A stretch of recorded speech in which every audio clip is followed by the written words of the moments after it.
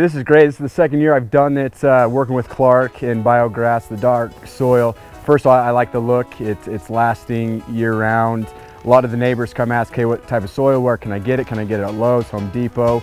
I let them know where we get it. Um, so not only the look, but I'm out here in Harriman, so the soil is rock hard um, naturally, and so when we put this down, the plants are able to get the nutrients that it needs.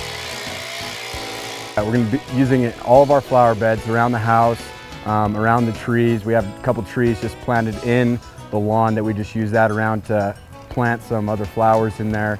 And so it definitely helps with the growth of just the trees, flowers, and flower beds.